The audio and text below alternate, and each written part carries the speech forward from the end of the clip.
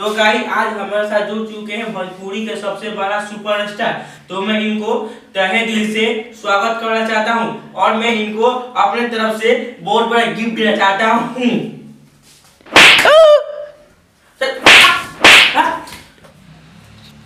भाई तुझे पैसे को ज़रूरत है? हाँ भाई।